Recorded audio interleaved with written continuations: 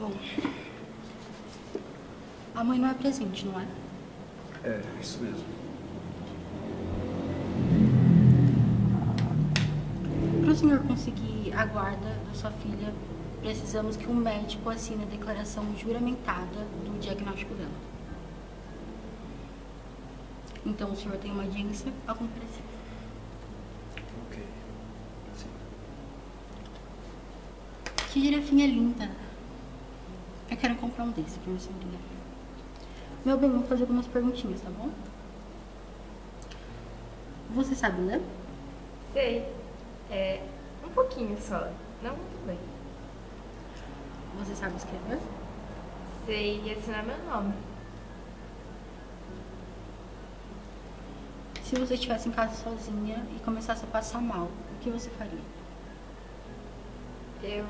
Eu chamaria o meu pai. E se ele não respondesse? Ligaria pra polícia. Bom, se você fosse parar no hospital e lá dissesse que você está tendo uma grave reação alérgica, o que você falaria que precisa? Que preciso de remédios. Mas. Mas também falaria pra eles ligarem pro meu pai. Bom, senhor Blush, eu preciso explicar como funciona a lei do Estado. Para o senhor conseguir a guarda de sua filha, precisamos convencer um juiz que ela é incapacitado. Mas ela, ela usa cadeira de rodas.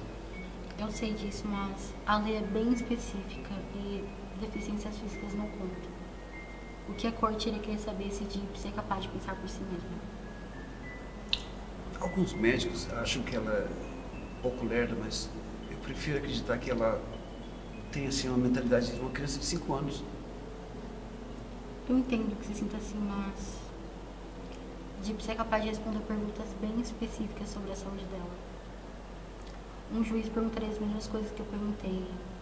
Eu sinto em dizer, mas o senhor não vai conseguir guardar dela. Aos olhos da ela é capaz.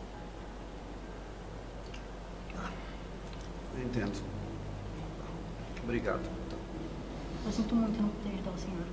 Tá.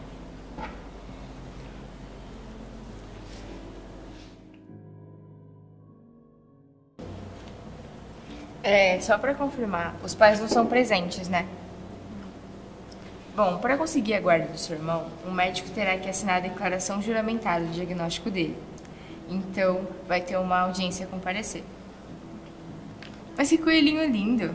Vou comprar um desse para minha sobrinha. Agora vou fazer algumas perguntas. Ah, Tudo bem? Você sabe ler? Sei um pouco, mas não muito. E, e sabe escrever? Você escreveu meu nome? Muito bem. E se você estivesse na sua casa e começasse a passar mal, o que você faria? Eu chamaria a, a minha irmã. Mas se sua irmã não respondesse, Aí eu chamaria a polícia. ok. Mas Mas Tá. E se. E se você fosse parar no hospital e te dissessem que você tá tendo uma grave reação alérgica? eu diria que eu precisava tomar alguns remédios.